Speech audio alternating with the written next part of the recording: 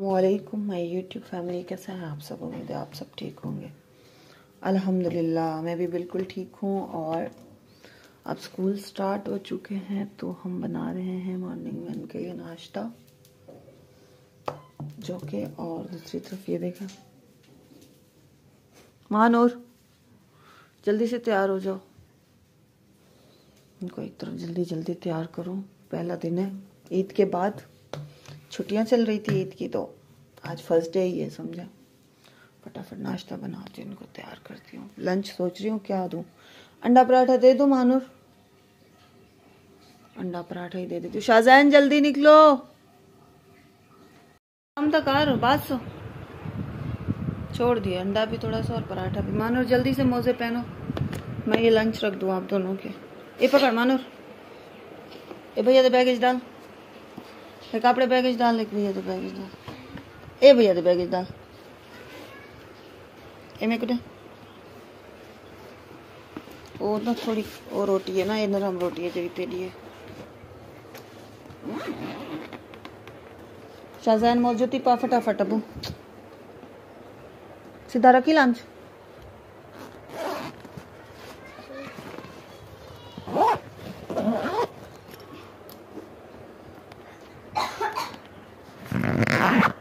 चलो बैग जाओ। शाहजहान बस पेट भरीज गए। जूते पहनो, जल्दी से बेटा शाबाश। जल्दी से जूते पहनो महानूर शाहजहान, आप भी जल्दी से जूते पहनो, शाबाश। वाटर बॉटल्स लेके जानी है। खा लो खा लो। मानूर, ये भाई के बैग की साइड पे रख दो। मैंने इसको कहा भी है कि पहले बॉटल रखो। बैठ के क्यों नहीं खाया? बैठ के क्यों नहीं खाया? इसके काम चेक करें। अभी आ जाओ, पानी भी पी लो। मानूर आ जाओ मैं आपकी भी बोतल भर दूँ। चलो ये मानूर ये लो आपकी पानी की बोतल बोतल। ब्रश लेके आओ, मैं आपकी पोनी बनाऊँ। बैग सीधा करो मानूर जल्दी से। पकड़ दो। चलो, ब्रश दो, पोनी दो, जल्दी से लेके आओ। शाहजहान जा रहे हो, इधर देखो शाहजहान। शाहजहान, दाफिस। अच्छे से पढ़ना, ठीक है, समझ आ रही है अम्मी की बात। अच्छा मानो, मैं आपके बाल बनाऊँ, जल्दी आओ। कार्ड उठा लो जल्दी से।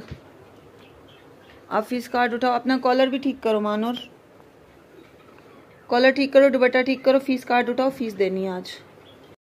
हेलो मिठू। हेलो मिठू। नहीं बाय मिठू। घर का ध्यान रखना। इस्त्री करके कपड़े इनके यहाँ रख के जा रहा हूँ। जा रही हूँ सॉरी खाना मैंने ना इनका दस्तरखान लगा के वहीं पे नीचे रख दिया। उसके बावजूद भी ना और ये देखिए, पूरा घर बिल्कुल साफ़ है। पर ना, जब मैं आती हूँ ना, जब मैं आई ये देख सकते हैं आप, सब कुछ क्लीन है मतलब कोई भी चीज़ नहीं पड़ी हुई और जो गंद मची हुई होगी ना, वो तो फिर मुझे पता होता है, और जो मेरा फ़ोन चलता है, वो भी मुझे पता होता है, पर छोटे हैं ना बच्चे तो कोई नहीं। बस अब निकलती हूँ मैं काम पे, और ब्लॉग को कंटिन्यू करते हैं अपने हमारे साथ ही रहना बच्चों का ईद के बाद आज पहला दिन था पता नहीं कैसी शक्लें बना के आते हैं। मेरा बेटा क्या कर रही हो? सफ़ाई। जल्दी से लगा लो झाड़ू। आज स्कूल में क्या हुआ पता है? आज रिक्शे वाला नहीं आया और मेरे बच्चे शाम को पाँच बजे तक ना ये दोनों स्कूल में बैठे रहे। और है ना सुबह सात बजे के गए हुए। और ना क्या कहते हैं मैं काम से आई ना जब और जब मैंने देखा कि बच्चे नहीं आए, मेरा दिमाग बिल्कुल घूम गया, उल्टा हो गया कि ये क्या सीन हुआ है? सारा दिन ये सुबह सात बजे के गए हुए दोनों। शाम तक स्कूल में बैठे रहते और मुझे पता ही नहीं था। फिर मैंने कहा, चलो इनका थोड़ा सा मूड बेहतर करती हूँ। जैन को नहलाने के लिए भेजा है, मानूर ने कहा मैं थोड़े से आपको क्लीनिंग कर देती हूँ क्योंकि मुझे था बुखार, वहाँ से आई तो मैं और ये बात सुन के मुझे बिल्कुल तेज़ बुखार हो गया कि ये हुआ क्या है? तो मैं थोड़ी देर लेटी हुई थी अब ना अब ना मैंने कहा चलो इनको आलू के पराठे बना दो खुशी से खा लेते हैं शौक से। तो मैं ये कर रही हूँ महानूर मेरी हेल्प कर रही है क्लीनिंग कर रही है। शाहजैन को ना मैंने नहाने के लिए घुसाया मैं इसको देखूँ नहाने गया भी है या नहीं। हो, हो। मैं देर सही जब पूरा वन नंगा पुंगा घूम रहा था अभी। गए हो या नहीं?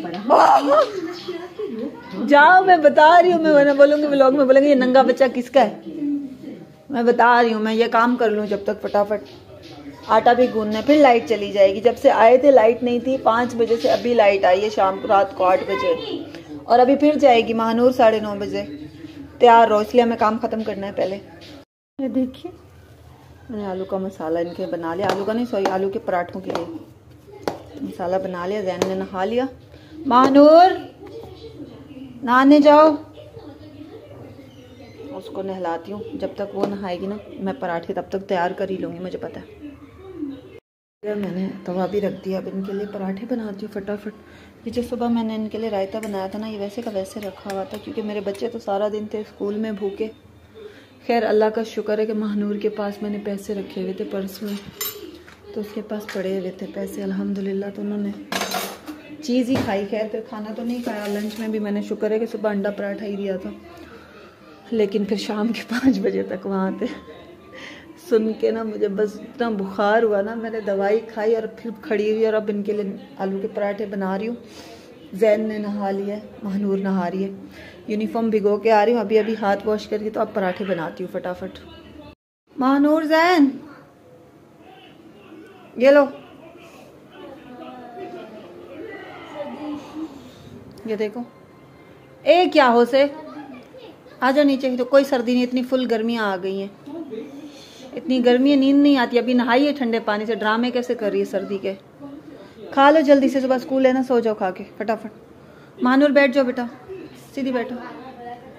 बिस्मिल्लाह वाला बरकतिल्ला मैं दूसरा पराठा बना लूँ। ऐसा ना पता चले गैस ही चला जाए।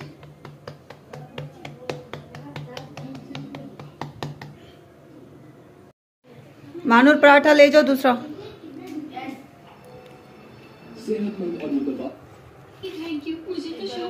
गरम है बिल्कुल बहुत ज़्यादा। आराम से आराम से खाओ। Jain French fries. इतने उदास थे, ये स्कूल में बैठे हुए थे, रो रहे थे जब मैं वापस घर गई थी ना। तो मैं ना इनको बाहर ले आई। शाहजैन के कपड़े देने थे, दर्जी को शादी के वो दिए। मानूर के चप्पल लिए। मानूर दिखाओ, अब थोड़े से खुश हैं, अल्हम्दुलिल्लाह। रो रहे थे। पूरा दिन स्कूल में बैठे हुए थे शाम तक आज। बेटा, निकालने का नहीं बोला, घर जाके दिखा देना। अब इनके लिए चिप्स ले रही हूँ, इसके कपड़े भी दे दिए महानूर के कपड़े भी स्टिचिंग के लिए दे दिए। शादी के शाहजैन के भी दे दिए, शाहजैन के चप्पल नहीं लिए, पर कपड़े दर्जी को दे दिए। और अब जैन अपने चिप्स ले रहा है और हम घर जा रहे हैं, बस। काम चेक करो। बस, जल्दी। शाहजैन, हेलो। चाह जल्दी। आराम से ऐसे खड़े में घर ही नहीं जाना।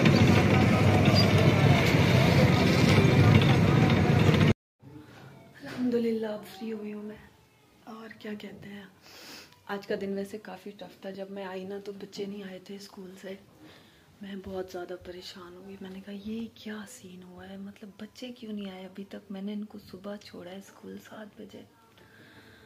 और जिनसे रिक्शे वाले से बात की हुई थी, उन वो गैर नहीं, इतनी गैर ज़िम्मेदारी और इतनी लापरवाही, अल्लाह जी, मुझे तो बुखार हो गया जब मैं आई और मैंने देखा कि शाम हो चुकी है असर से भी ऊपर असर मगरिब के करीब टाइम है और बच्चे मेरे घर पे नहीं आए तो मैं बड़ी परेशान हो गई।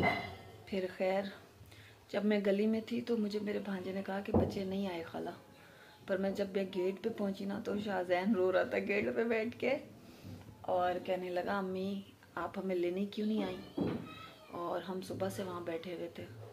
फिर हमें, मैडम ने बहुत कॉल्स की आपको, लेकिन फिर ना हम अच्छा कॉल्स उन्होंने की मुझे फ़ोन का पता ही नहीं चला, ये देखें। एक भी फ़ोन का पता नहीं चला, क्योंकि ना मेरा फ़ोन साइलेंट था।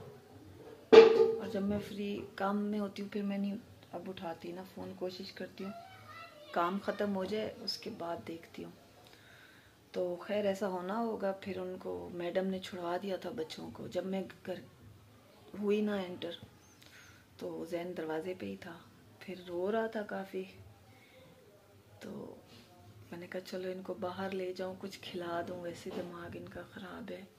फिर शाहजैन के कपड़े भी देने थे, शादी आ रही आगे तो उसके कपड़े दर्जी को दिए। महानूर के, मैंने, महानूर के कपड़े मैंने दर्जी को दिए स्टिचिंग के लिए। क्योंकि रेडीमेड कपड़े मुझे नहीं समझ आ रहे और बहुत ज़्यादा महँगे हैं, बहुत ज़्यादा। उनकी कीमत ना बहुत ही कुछ ज़्यादा है, लेकिन ना, और वो बहुत मज़े के भी नहीं होते मतलब मुझे नहीं अच्छे लग रहे। तो इसलिए अब महानूर के भी मैंने दिए हैं सिलाई के लिए। अब देखिए सिल्के कैसे आते हैं। तो बस फिर मैं उनको ले गई, जूस वगैरह पिलाया, खिलाया, पिलाया। अब थोड़ी देर मैंने कहा ट्यूशन चले जाएँ। थोड़ा सा काम जो खुद ही काम, मैंने कहा जाना है, इन्होंने कहा जाना है तो फिर मैंने उनको वहाँ भेज दिया। तो जब व्लॉग का एंड कर दो व्लॉग काफ़ी लंबा पड़ गया मेरा। तो खैर, कोई नहीं, ऐसा भी होता है कभी कभी ज़िंदगी में, जीना इसी का नाम है। तो मैंने उनको कहा, इतनी छोटी छोटी चीज़ों से बेटा परेशान नहीं होते नहीं होते। समझाया मैंने। तो हम्म आप भी दुआ करें। जो बेहतर हो मेरे लिए, वही हो। आमीन। बड़ा कुछ सोचा हुआ है आगे ज़िंदगी में। अब देखें शेयर करूँगी आप लोगों से इंशाल्लाह अब देखें होता क्या है। बहरहाल, ये था हमारा आज का व्लॉग ये था पूरा दिन हमारा, जो बहुत ही हैट्रिक था, बहुत ही मुश्किल था मेरे बच्चों के लिए। तो अब कोशिश करूँगी, अब आइंदा कभी भी ऐसा ना हो। और इस व्लॉग को मैं यहीं एंड करती हूँ। दुआओं में याद रखिएगा, मेरे चैनल को ज़रूर सब्सक्राइब कर दीजिएगा। मैं आपसे मिलूँगी इन अगले ब्लॉग में। तब तक के लिए खुदा हाफिज़